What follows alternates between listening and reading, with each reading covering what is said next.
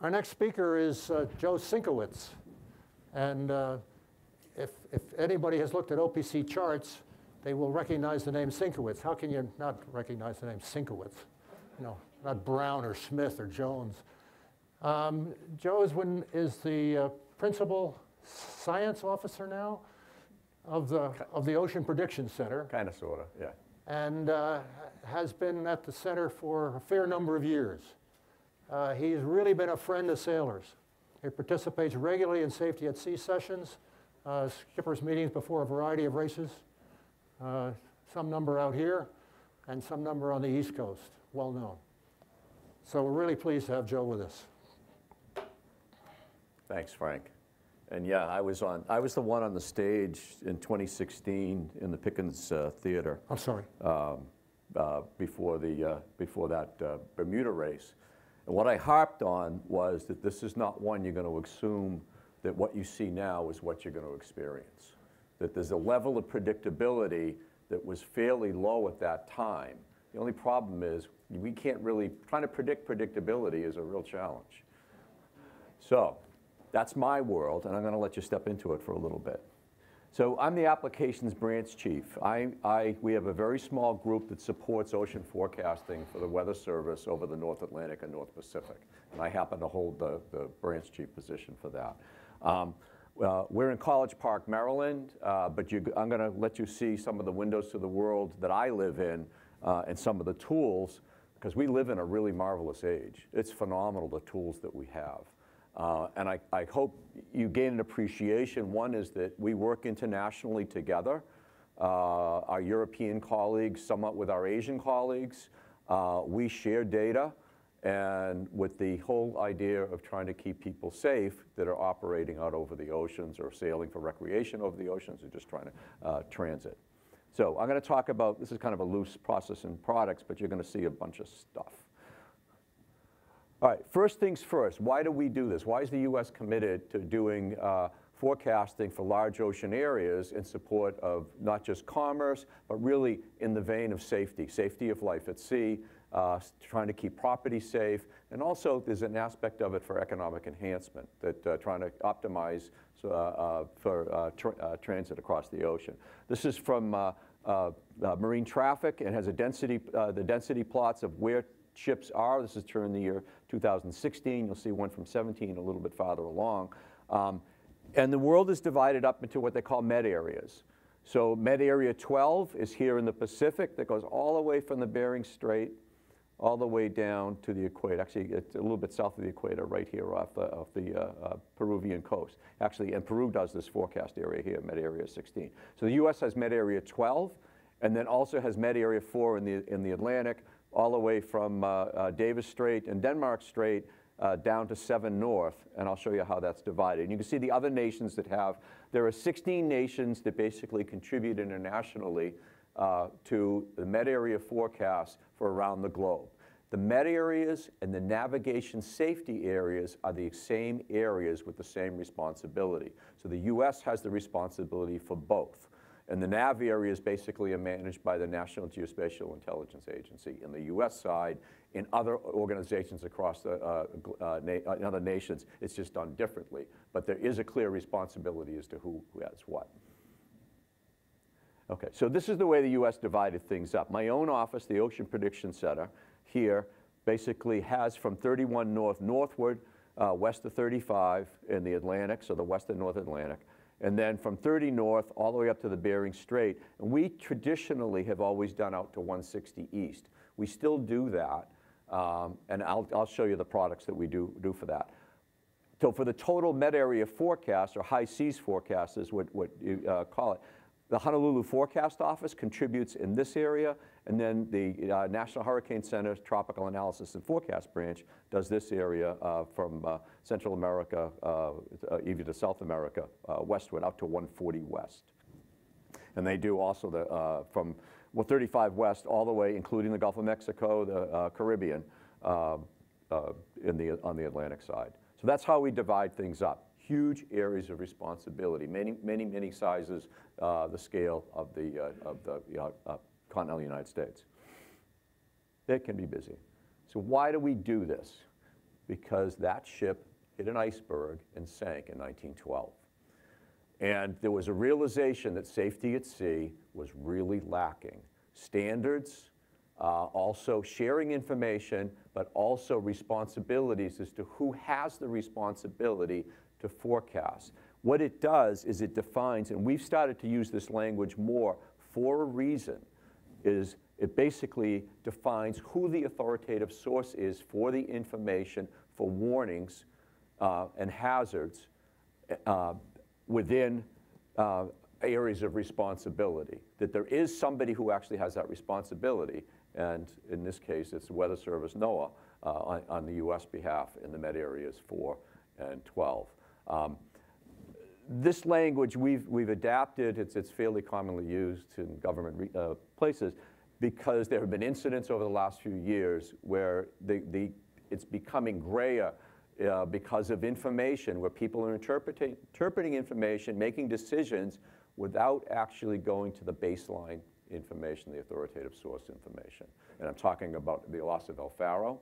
I'm talking about a cruise ship in 2016 off the southeast coast uh, that sailed into a developing hurricane force low, experienced hurricane force winds, actually had winds, five minute average peak winds. This is five minute average of 131 knots.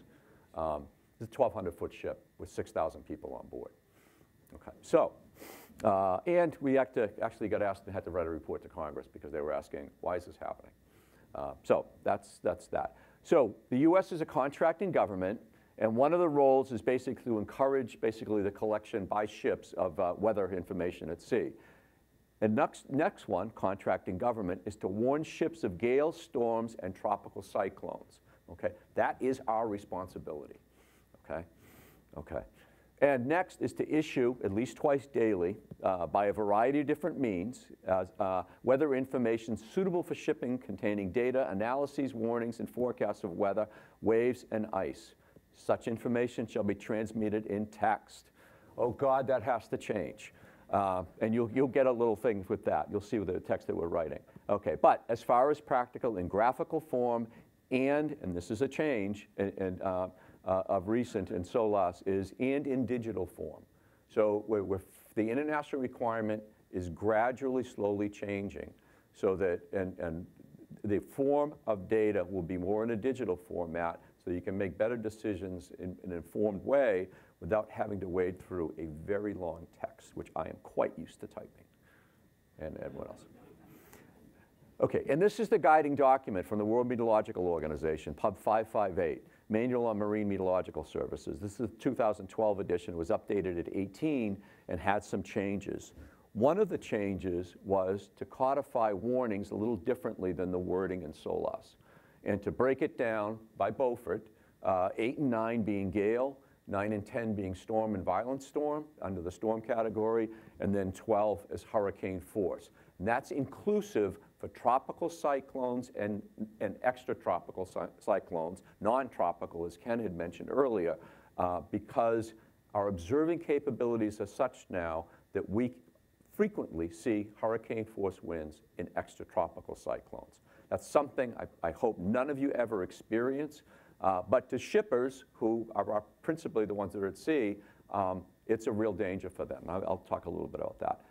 Um, they've set the stage to start to change the way that we do wave forecasting and, and potentially in future updates, whoops, that's not what I want to do, uh, by using the language dangerous seas, okay? That we're learning more about waves, we have more capabilities, and we're, we're setting the stage basically because, okay, the winds do one thing, they generate waves.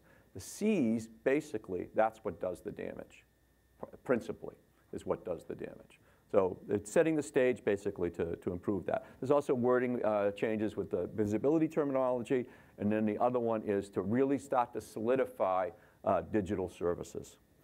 Okay, so that, that uh, uh anyway, okay. You should be familiar with these uh, via a book. You should not necessarily be familiar with these via your own experience. But these are the warning categories, eight and nine. Uh, this is out of an observing manual that's available online uh, for uh, uh, sh uh, ships. For sh but basically, the, way, the, the, the, the great thing is that the ocean surface basically reveals, by its changes of the wind blowing across it, basically gives you an idea as to what the strength of the wind. You can estimate it basically fairly quickly within a range. Uh, uh, 34 to 40 knots and is force 8, 41 to 47 knots is force 9, and 10, uh, you can just see how things look more shredded. There's more spray, uh, force 10, and then hurricane force is kind of more than you want to imagine. And I have seen hurricane force, but primarily from a NOAA P3 flying in ocean storms. All right, now you're really going to step into my world. Okay, so we're going to look at a loop. We're going to look at December of 2018 over the west and central Pacific. And we, we've talked about cyclones, we've talked about fronts. I want you to think about waves. I, cyclones are really thermal waves in the atmosphere. They break, they actually roll on themselves, and they're relatively frequent. So you're going to see cyclones, fronts, explosive cyclogenesis, multiple centers, cold air developments, secondary developments, instant occlusions, and backbend fronts. I'm going to let this run a couple of times. This, and I should describe this, so you, the whiter the clouds and the different shades of it, the, the coloration, the more moist and the deeper the moisture is the green. You get to see where the gradients are. So for instance, there's a, there's a developing cyclone right there. There's a, some sort of frontal boundary in here. Uh, where you see the purples and even the browns, that tends to be much colder air masses and drier. So let's go ahead and let it go. Get a flavor. Can you believe it's turbulent? That's only five days.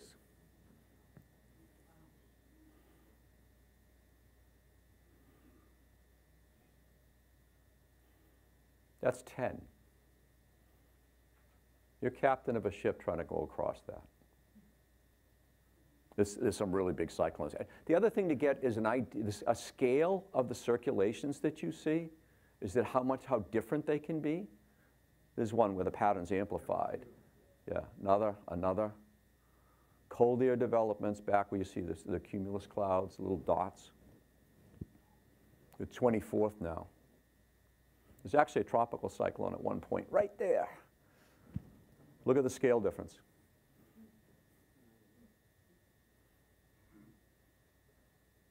We write a text to describe that.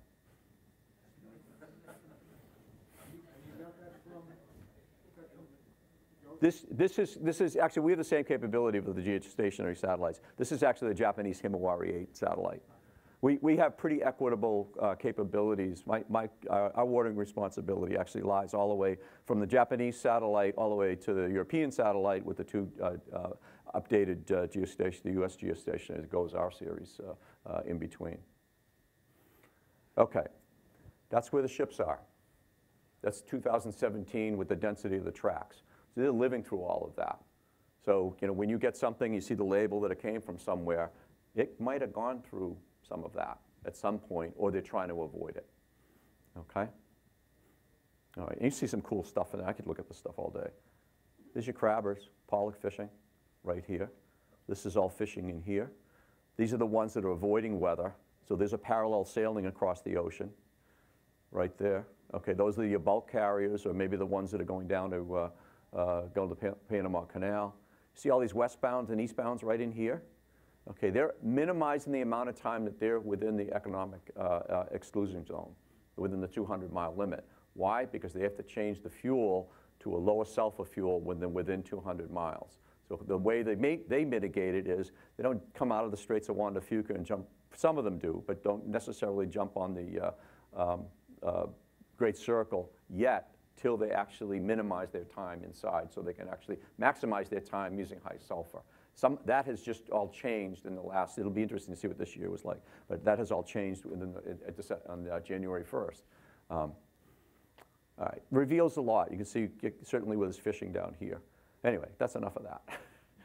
all right, so we do an analysis every six hours. We're in a rhythm. There's uh, basically 18 or 19 of us uh, uh, working 24-7, uh, 365. Uh, and we label all the storm systems by their warning category. So you, uh, you could think of developing hurricane force. That's this guy right here that's going to go northward and move up here into Alaska rapidly. That's a lot of distance in 24 hours. And developing and intensified hurricane force as it comes across. Storm conditions, storm conditions, uh, developing gale, meaning it's 30 knots, going to be gale within 24 hours, and so on. So in the month that I just showed you, this is the breakdown of, this is for every analysis. I just counted the number of lows and then the categories of the lows, just so you get an appreciation. Okay, so 28% of the 936, 270 basically, 29% were subgale.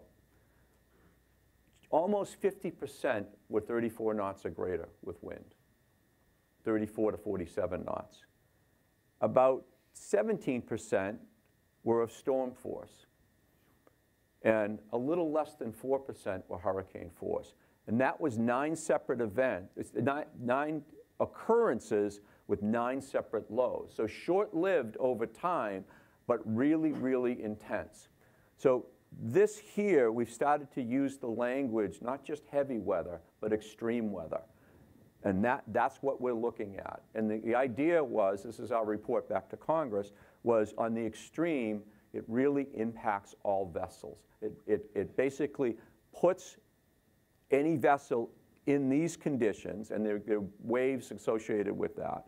Um, it's kind of to be determined. We, it's like the dangerous sea sort of thing. Um, but basically, to start to distinguish that nature produces conditions that, that basically risk anyone that's going to venture into them. Again, remember, we were reporting after El Faro, and we were actually doing it after the cruise ship with 6,250 people on board uh, went through. And there have been others uh, uh, incidents uh, since, unfortunately. Okay, so a little bit of reality. One thing that we have started to look at, we have a, a web application that was developed by Department of Transportation, and uh, we're looking at ships and vessels to where they are. If you have an AIS and it's on, uh, I hope you know that not only is it being picked up terrestrially, it's going to satellites, and that's being uh, distributed. So we can actually see where people are with AIS. And yes, people do turn them off at times. So here's an example, and remember the wave that I showed you?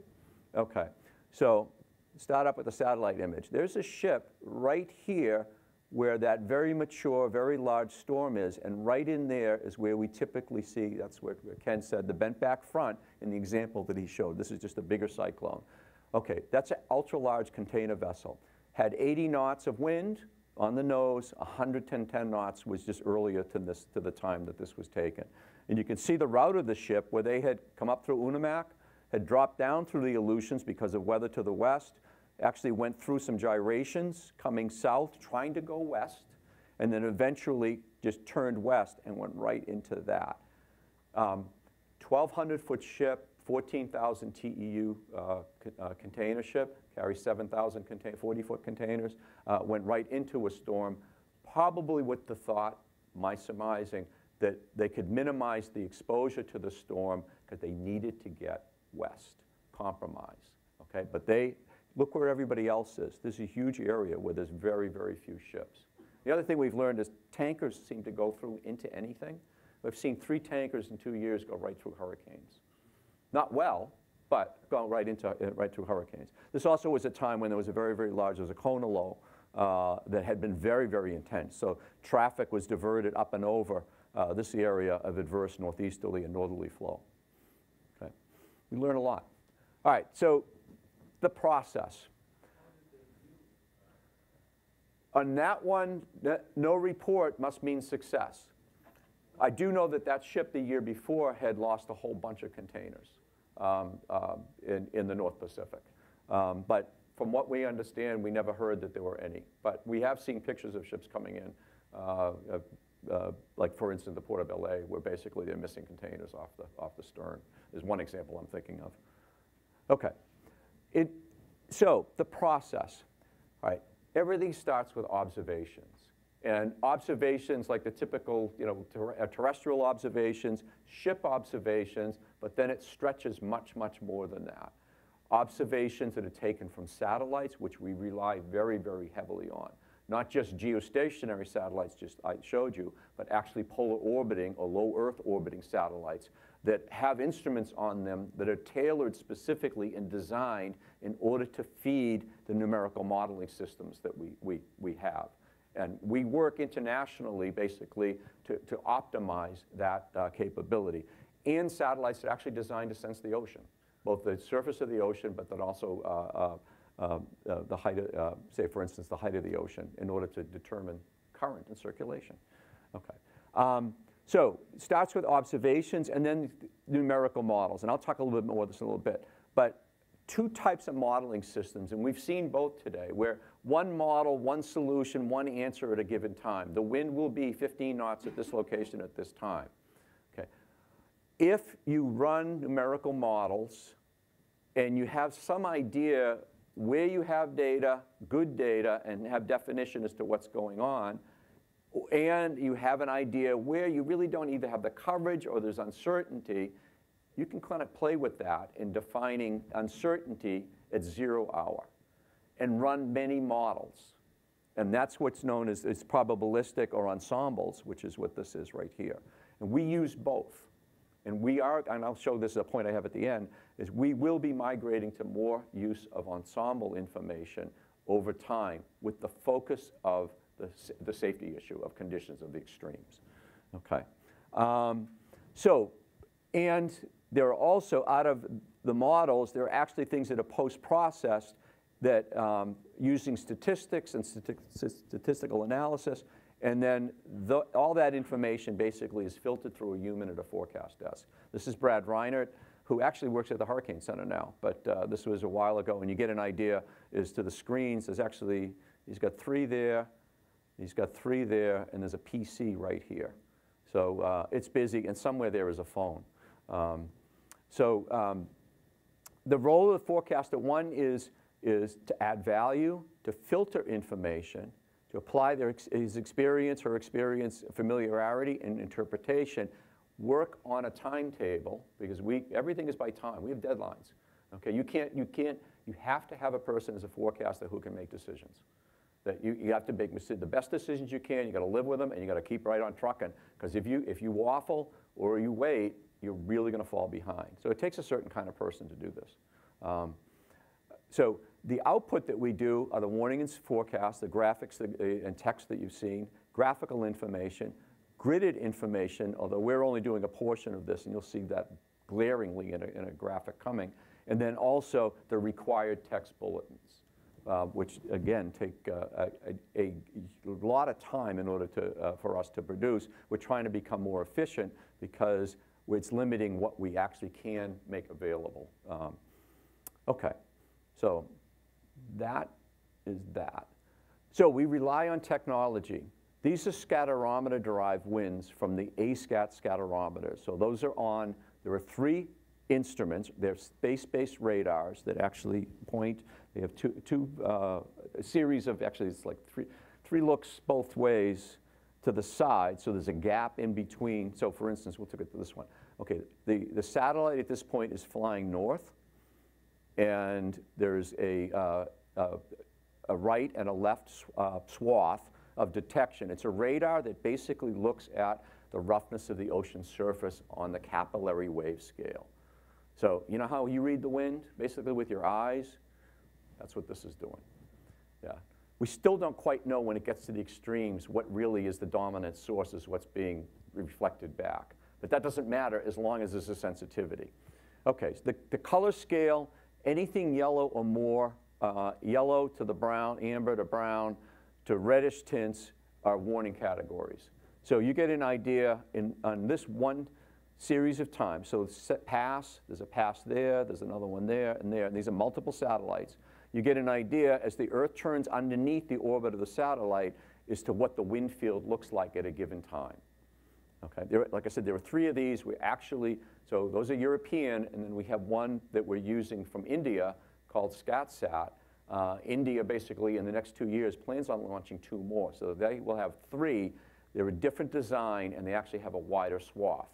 Um, so it, it, anyway, we get a flavor for where the wind is. Okay, so the highs that you're, you're seeing, these are the highs in here.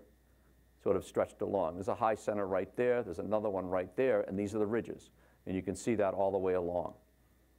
Okay? There's a large low here, there's another one somewhere up in here, there's one sort of developing there, there's another one there. Um, you can see there's a front, that's wind, that's 20 knots of wind. So that's front that kind of trails down. Uh, there's the uh, high off the west coast, and we don't have a uh, swath that you already had uh, timed out when I took this, but there was northerly, you can see the northerly flow with the ridge all the way up into Oregon. Okay, it's an incredible tool and really gives us an eye on what is, what is going on. Um, um, these are storm conditions. Okay, these are storm conditions here. There's actually storm conditions right here in Shelikof Strait. So just south of Shelikof Strait, and strong gale, this is Shelikof Strait right in here, and also just to the east of Kodiak Island. We get to really see the detail. Remember the text thing about trying to describe that? Want to trade jobs? the point is that we're using technology. We're pushing it. Okay, we're actually, I was in a meeting this past week where I was advocating for this. We're looking to see what we're going to do next in the U.S., how we're going to improve our observing systems, and we're asking those questions. We're actually a little bit behind at doing that. But we, uh, I think the message was pretty clear when I heard scatterometers coming back at us. Um, whether or not that happens, that's a different thing, but we're pushing to use international sources. Uh, um, okay, so we make sense out of all this. And, and, and, this is an analysis. This is the way we look at things, basically. I don't have the OBS up there because it, it, would be a little bit more crowded, but at least it gives you an idea, okay, circulation centers as to where they are. Remember the pressure gradient, so the yellow are the isobars. These are the fronts, and you can see the features associated with the fronts, with the clouds. Um, there's a reality to what we're doing. It's not the fiction, you know, from, you know, 120 years ago when they didn't have da data. We're actually kind of like engineering, basically. I mean, it, there's an art form to it kind of, sort of, but we're trying to cut down the art form so that actually we're producing something that's relatively consistent. Okay? And, and I'm so glad that we went through the description of pressure. Yes, sir?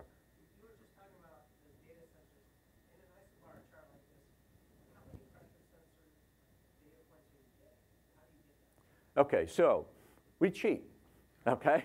We cheat very easily. We have numerical models. So we start with a numerical model and then adjust it very subtly to the, to the model, to the, uh, to the data. It, it may be that we don't, we, we might have a whole storm system without an observation in it. It doesn't mean there's nobody there. It just means that basically they're not taking observations. But yeah, we make, we make, we estimate a lot. Remember that decision thing I was saying about? Yeah, it's a cool job. Yeah, I mean, you got to run and gun. You're trying to do something like this. We, on a shift, an individual does two of these per day, a series of products, and then also does the high, the high seas forecast typing. Um, so yeah, it's, it's, it's, and, and this is basically Ice Edge also. We don't do that, we actually import that from uh, uh, another portion of, uh, actually it, it's actually now part of our, our organization. The blue line is the Ice Edge? Yeah, yeah, the, the dashed blue line, yeah. Okay. All right, so web page, oceanweather.gov, a series of, things. I'm not going to go through everything, 500 millibar, and then it, it basically, on the next sheet, you'll see what's, what's below that, the series of products that, that Frank and, uh, and Ken have already shown. And this is a high seas uh, text. Typically, here's the warnings by category, the strongest storm warning, and then low, latitude, longitude, pressure, and how it's moving, northeast at 40 knots. We had one of the lows in the Atlantic just blasted across the ocean in 24 hours. Uh, this past uh, when we had the very very when, when the record of uh, uh the uh, British Airways flight going across the ocean. Okay, when that happened, well, there was a low embedded in that flow that intensified over the exploded basically intensification in the Eastern Atlantic. That thing, it was over Newfoundland one morning. The next morning, it was passing over Ireland, approaching Scotland. Yeah, things were, were kind of ripping there for a little bit. Okay, and then all the gale warnings that, that, that go below that. Okay, so we prioritize the warnings. Freezing spray also is a warning, which we got a grim reminder of this year is important. Just uh, southwest of, of, Kodiak Island, uh, along the southwest Alaskan coast, or just off the coast, where uh, Scandies Rose uh, uh, with five on, five lost, two survived, uh, were able to get off, but in horrific conditions where they iced up, and, and it's, it's we, we freezing spray is scary. Yeah, I drove tugs for five years, and I, I never liked when we would actually start icing up because, you know, you're looking at, you, you, um, yeah, it just, you start to feel the boat kind of wallowing a little bit, and you're like, ah, this isn't so good. Let's shorten the distance, get, get shorten the fetch to cut down the spray. And it's not the wave spray, it's actually the spray of the vessel moving through the water. So you can mitigate it a little bit by turning downwind, which pushes you farther offshore, which may make it that you're going to have a hard time getting back in if the conditions continue for a long time. It's a tough decision. And then this is the bottom of the web page where basically the forecast 24, 48, 72, 96, uh, winds and waves here, and then this is automated, but it's a wave period, and it gives you an idea of the persistent swell uh, uh, over time, which is just plain, plain relentless. Um, and then not only do we do the high seas, but we actually do the offshore zones from 60 to 250 nautical miles from Cape Flattery all the way down to Guadalupe Island. Um, okay. We do do gridded information, but you will see there are two huge gaps. This one here and that one here. And that's us. And I, we don't like that. But remember the complexity we just showed you? We got the weather. And, and trying to take the next steps for us to produce gridded information, we actually are in the process where we have to migrate to a different computer system.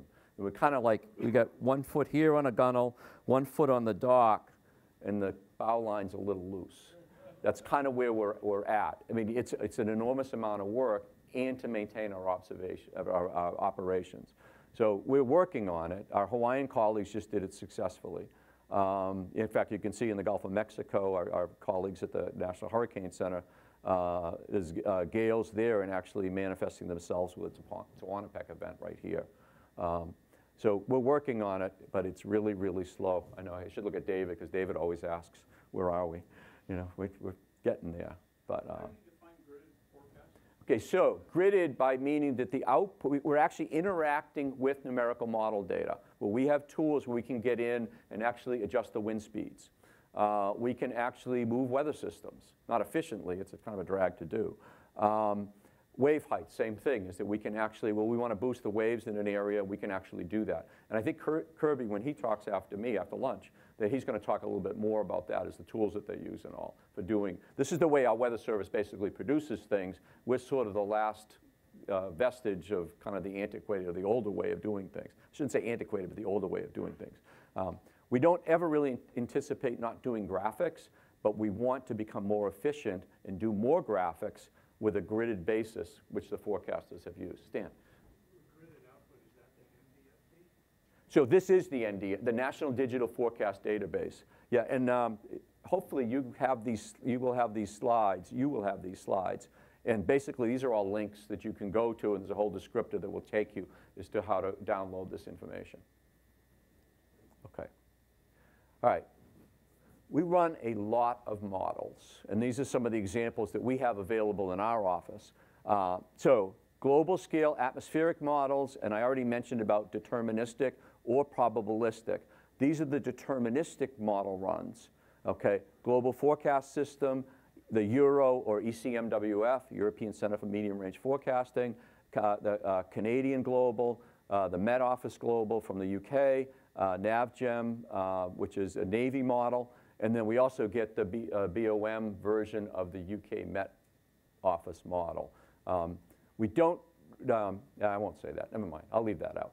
Okay that we, we have a, a, version of the UK Met that is at a reduced resolution, and we have agreements with the European Center. We have agreements with the Met Office, but we don't get the higher resolution, so we actually get to see the detail. Uh, it just is the way that it is. Okay, okay. So, and I'll talk a little bit about US versus European. I wanted to mention here one thing that we have absolutely excelled at, which kind of gets lost in the fray of, well, the European did this, the GFS did that, how come we're behind the Europeans? We flat out excel and are the world leaders at doing short range forecasting, meaning out to, say, 84 hours or 60 hours on what we call the mesoscale. As, um, um, in fact, everybody sort of is trying to, we, we're the lead um, not only doing this, but actually doing ensembles of this because of the weather that we have in the United States. We've focused on severe weather, tropical cyclones, landfalling, okay? The we have separate models for that aside that depend on the GFS, but basically we have a whole suite of models that basically really contribute to our understanding of, the, uh, of smaller scale weather that is really, really critical, okay? Um, We've, we've had times when we were actually anticipating a severe weather event six days in advance and gearing up for that. you know, in the plains. Um, that's way different than when, when, say, when I started years ago. Okay, so high-res rapid refresh is run hourly. The North American mesoscale is run every six hours on a cycle. The RAP is run, I believe, hourly. Um, I, I, I should know that, but, but I really know what those do. Okay. We run separate wave models. The NOAA Wave Watch uh, 3 is run off of the global model. We also run at the local office level something called the Nearshore Wave Prediction System, which is actually based on a, a model called SWAN. And it really is to try and get to the detail of the wave characteristics in and around a coastal area. And the driving force for this, wind-wise, is actually the winds that the forecast offices actually develop, the forecasters develop. Um, this, this is a real step. This is how we, Humboldt Bay Bar, Eureka, basically. This is where that started, basically, is we had a weather problem that, that basically your severe weather in the west, typically if it's not flooding, is actually in the coastal zone, in the water, in, in inlets. And it was designed basically, the adaptation of this was designed to deal with that problem. The other thing that we've done very, very well is on the hurricane side. Now, what we've discovered, we've done very well at track, even with the global models. As you look back in time, our track forecasts, our errors have gotten smaller and smaller and smaller as you go out in time. But the real challenge has been the intensity of tropical cyclones. That pretty much was flatlined for a very long time. Well, a lot of effort went into uh, uh, the H-WRF model, uh, and also working with our, our colleagues at, at, Princeton, at uh, GFDL, to develop coupled models that include the underlying ocean for heat and moisture exchange, and also the waves, because the waves really are important. As a governor, because of wave drag, they actually, there is energy that comes from the waves that goes back up into the atmosphere, okay, Be because of, of the shape of the waves. Um, so that's been a real step forward, and we're starting to chip away at intensity. Yeah, you can start to see that we've turned the tide on that, to quote a phrase. Okay. The sequence, and this is for the global, and I hate slides with all words on them. Okay. Remember, everything starts with observations. Okay. And we start with a short-term forecast from the previous global model run called the Global Data Assimilation System that actually is the, is the starting point of which the OBS are compared to. So we, we spend a lot of computer time defining now. Okay, and then once we do that, that's what this is in the data assimilation mode. It, and this process includes quality control and filtering of data. Uh, we, and then we basically use that as the starting point to start time and run forward. Um, and um, there, once the model is done, actually while it is being output, there's post-processing done to the, to the time steps, to certain aspects of it, usually doing, you know, by knowing statistics of certain events, and then becomes available to the forecasters. Okay? Then the forecasters go through their process, and in the meantime, the, the, the global data assimilation system is run for, the, for, for, to set up for the next cycle. Data's been collected the whole time. It just doesn't stop. We're just going all the time. Okay, this is what it takes to do the grid files, the grid files that you use. That's what it takes to get these. Okay, there's a lot that goes into it. Okay, so model comparisons. I grabbed this the other day. We, there's all kinds of different skill scores that, that, we, can, that we use. Here we are, 500 millibar heights. Okay, so the, the, the graphic that, that Ken was showing, uh, basically over the northern hemisphere, the heights for that is, is basically compared to the observations, okay? The observations meaning actually the analysis, okay? So the, the, the data assimilation system analysis. This is for 120-hour forecasts. So what you're looking at is this number that basically says how good a fit the modeling system, GFS, European Center, Canadian, Fleet Numerical, or the UK Met, matched the analysis of, of, a, of at, uh, at, in the 120-hour forecast flow. So it, it, the number basically varies between 0 and 1.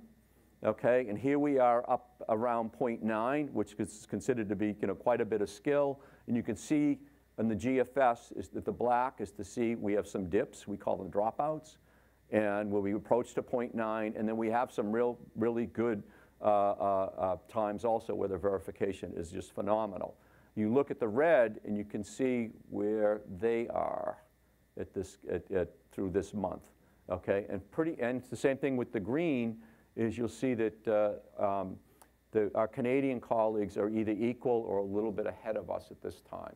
So when you hear global versus, when you hear the GFS versus the euro, this type of thing is what they're referencing. Okay, and I'll talk a little bit on the next slide. Okay, how are we doing time-wise? Five minutes? All right. Yeah. Wow, that's okay. Okay, so um, these are called die-off curves. So this is the same number that you that I just showed you, but averaged over a year. Okay, so all the way from 07 is the is the orange to black is the is 2019, and what so and this this is forecast day going out in time. So what you're seeing is how the skill drops over forecast hour and the trend of that of the model cycles over time. Okay, so they're not laid on top of each other. So you're actually looking at sort of how the modeling systems have evolved over time. Um, so let's go up here. So 0.6 is sort of a magic number that's been thought of as being where skill, above that you have skill, below that you have less skill, or, and that's sort of a critical point. Um, so you can see, and we go down, you see our European colleagues at 0.6 10, they're at, during this time period, of 2019, they're down around almost 8.8, 8.9 days. So they have skill out forecasting wise, wise to almost nine days. Okay, so where are we? So we are at about 8.2 days. We're really similar out to about day five and day six, and that's where we drop off a little bit in there. Um, one thing you notice with us, and this is true with the Europeans too, there's one year in here that's blue that actually was better uh, than earlier. When we do model upgrades, we expect to slip in skill and then sort of gain it back. It's hard. This is a tough game. I mean, we're really, really tweaking things to try and improve, and sometimes an improvement to the system, like we just changed the physics core of the model, basically that we knew we were going to take a step backwards in skill. And that's actually reflected right here. So we're down here in 19 with a new model. This is the year before. But we're trying to move forward because you know what? We couldn't, you, you know, we couldn't repower. We couldn't really do anything more with the, with the model as it was. So we actually had to change the model to build for the future. And our European colleagues have done the same thing. We're never at the same time. Okay. Um, that's a typical grid file. I got two minutes. I'm going to jump to my last slide. Okay, good. Okay. It's not as bad as you'd think. Um, actually, I'm going to end with this one. Okay, so I mentioned before about the text.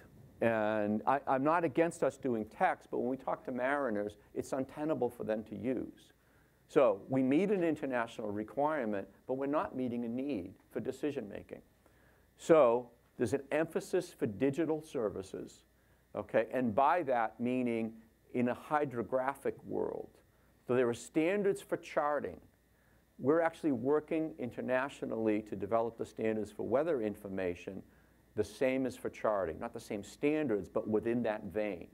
So that setting the stage basically for digital information to be available to help to make decisions. And this is an example of wind categories or warning areas. So purple, is hurricane force. This is red is storm, and the yellow is gale force for a storm in November, early, in mid, uh, it was right before Thanksgiving that went into Northern California.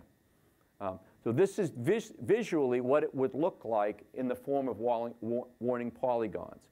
We would accompany this with a text that goes along with the warnings, but this actually would be able to be displayed in electronic charting systems including electronic charting display information systems aboard ship. So to help them to make better decisions, okay, and to help everyone that's out on the water to make better decisions. As an agency, this is where we're going for a variety of different things. We need to get beyond these long uh, sort of text descriptors. Okay, so, and in this case, we matched it up with where there are ships. There's a couple of ships in here, but in essence, our warning capability now isn't horrible. People are reacting. The problem is we can't present the information uniformly so that everybody has it without that very long text, which is actually required to be received aboard ships over a certain size um, uh, via satellite. So there's a printer, like some ships, there's still a dot matrix printer in the back of the uh, bridge. And, and that thing, every time it goes off, you know, it kicks off and prints the thing out and it goes into a file. And- and it really doesn't help. If you read the report of El Faro, that captain was relying on graphics. The only thing was, the graphics were being distributed by a non-authoritative source, and they looked pretty. The problem was they were 15 hours old. He was making decisions on old information in a rapidly changing condition. That's why there's an authoritative source. I'm going to stop there. Thank you very much.